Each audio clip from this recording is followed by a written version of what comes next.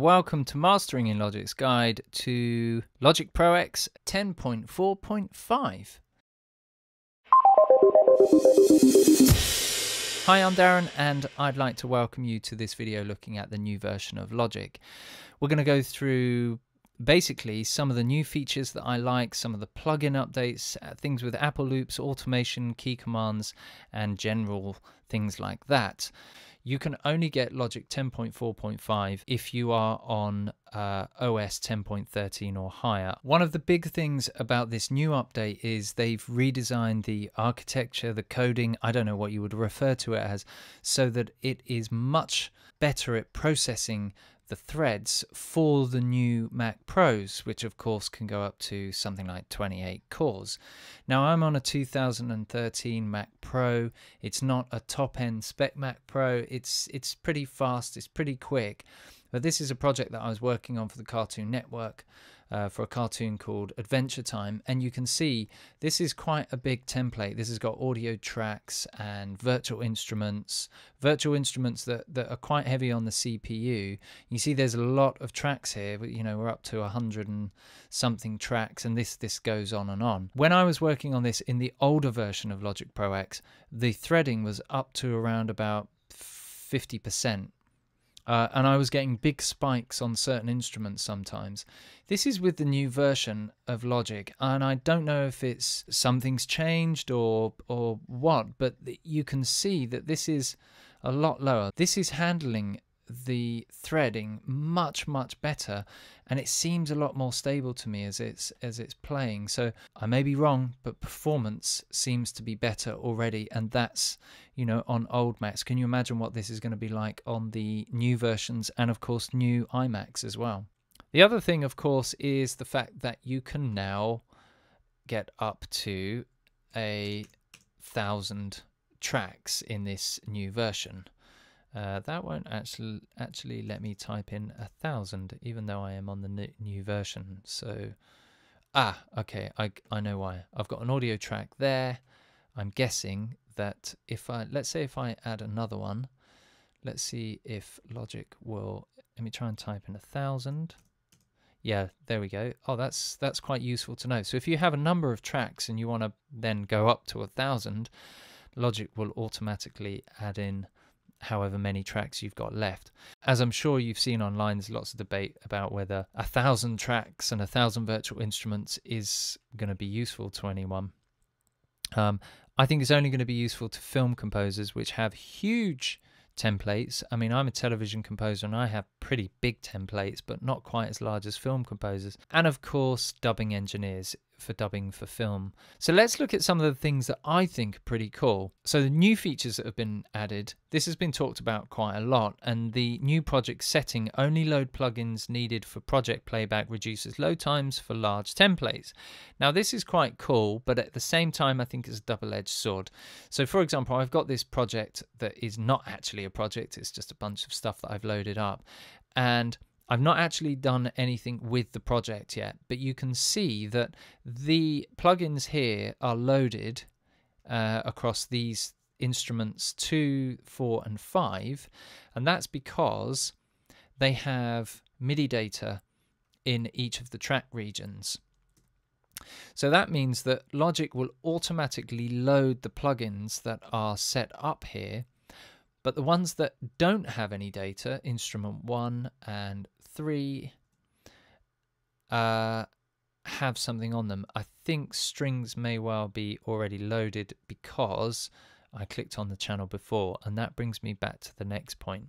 So when you load the project up, wherever you you don't have regions or you're not sitting on the actual track channel, Logic won't load the plugin.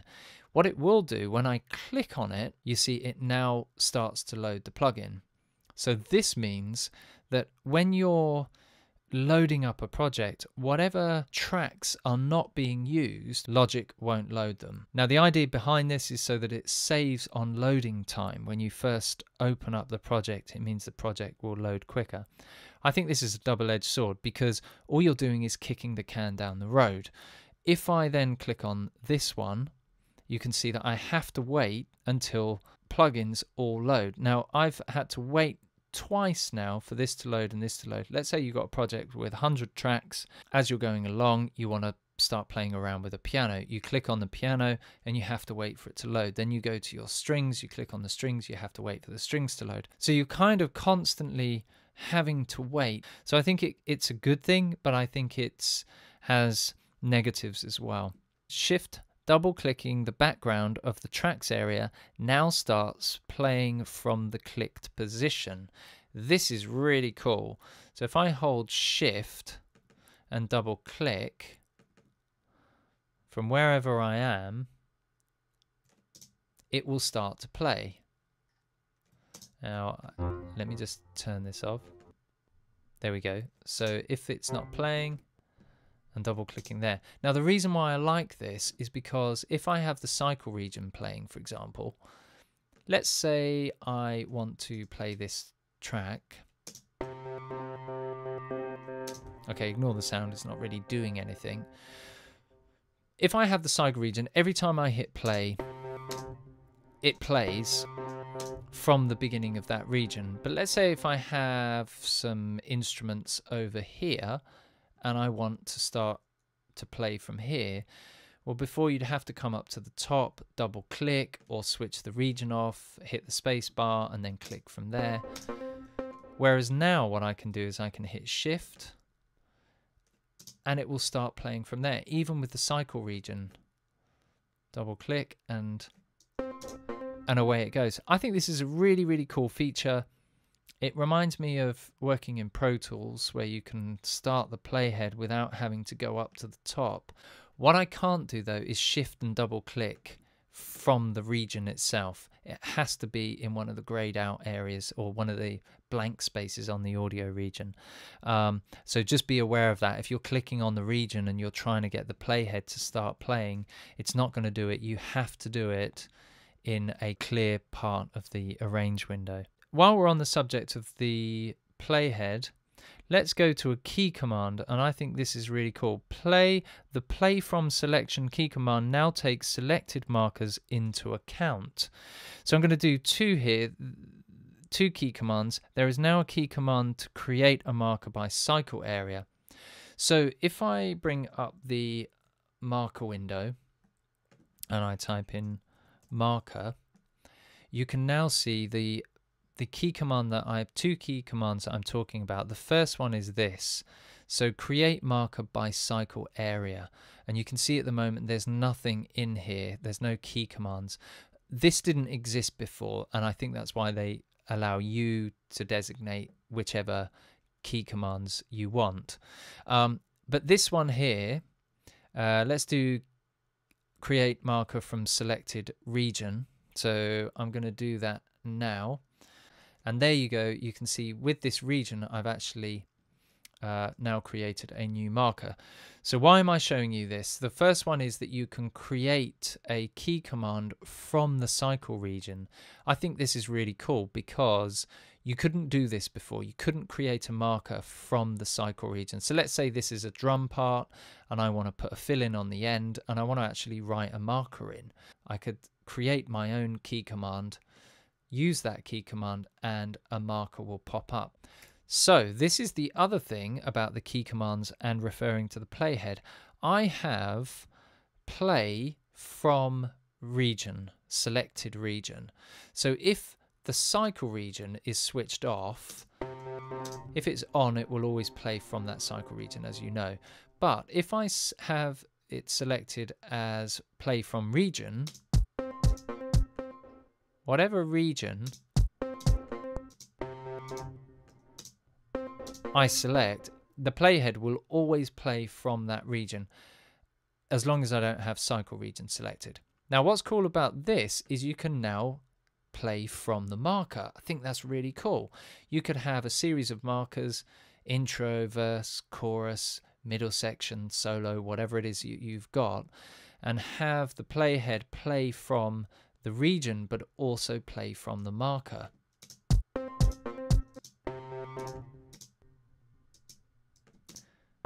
So you see there, I played from here, here, the marker, and here. All right, so let's go to another one. The Expander plugin now offers a redesigned Retina interface. So let's just bring this up on here, expander. So there we go. We can just make it bigger and smaller. That's basically all that does. But they've also updated the whole GUI. Um, all new de-esser. So this is their brand new de-esser 2, which I presume is just the same as the old one, just enhanced with new features. And also it states in the up, updated Apple Notes that the frequency response is much finer and also much more more detailed. I'm not going to go into the de-esser here. I'm sure you probably know how to use this, but I'm going to do another video on the de-esser using it in different creative ways. So if you're interested in learning about how to use the de-esser beyond just de-essing a vocal, hit subscribe and the bell button now and you'll get that video as soon as it goes live later this week or maybe early next. Uh, but this is really cool. You've got some great new features. You can set the way it re reacts in relative mode or absolute. So absolute is going to be basically absolutely centered on the frequency depending on how you split the range and the filter type. Or relative will give you a broader spectrum of how it works. So I'll do the de-esser another time. Hit like and subscribe now and then you'll not miss that video when it comes out. I've got some really, really cool ways of, of showing you how you can use a de-esser all right, so let's look at something else. The recording section of project settings offers a new option, auto erase duplicates, which removes duplicate MIDI notes at the same playback position when merge recording MIDI in cycle mode. Okay, so I've got a piano sound here, and all I'm going to do is record five notes.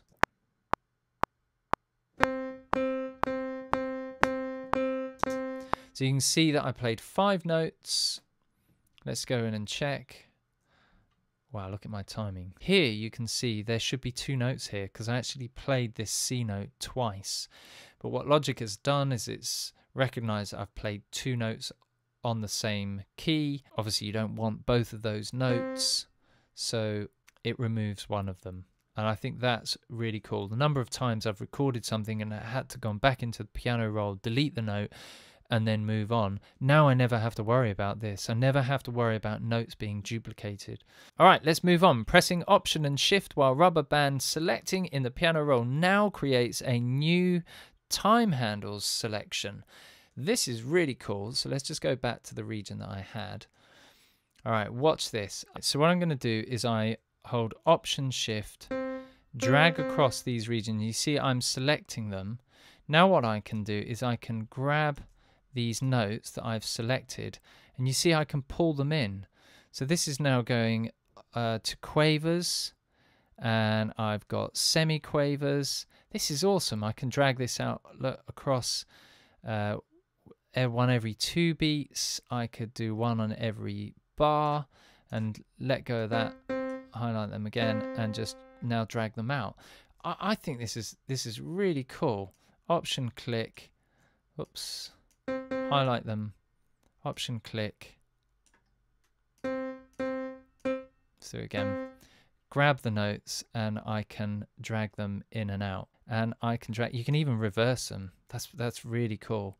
I really, really like this. And I think if you've got, let's say you've got a hi-hat pattern on a drum kit, for example, and you decide that you want, you know, one on every beat, but then you don't like it on one on every beat, you decide you want you know it in eighth notes then you decide you don't want it in eighth notes you could do it in sixteenths like that and then take the part copy it over and and you can experiment and and come up with different ideas. I think that's a really really cool feature. Option clicking the on off button for a track now loads and unloads the plugins on the channel strip um, this was something that used to confuse me because if I do Alt N, does that bring up? I can never remember. There we go. Right, so what uh, Logic would do when you switch this on and off, let me just switch all of those on, is it would switch the channel off, but I don't think it would completely switch all the plugins off. Now, if you select Option and hit the on-off switch, you can see that I have now deselected all of these uh, plugins. Now, what that means is that the CPU is no longer having to work harder because of plugins loaded that I'm not using. If I play the keyboard, I don't get any sound. If I switch them back on, the plugins you can see were switched off because they have to be loaded again. So that's option and then on off. All right, so those are some of my thoughts.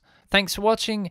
Don't forget to hit that like and subscribe button and you'll catch that new video on the de-esser when it comes out later in the week. And see you soon. Cheers.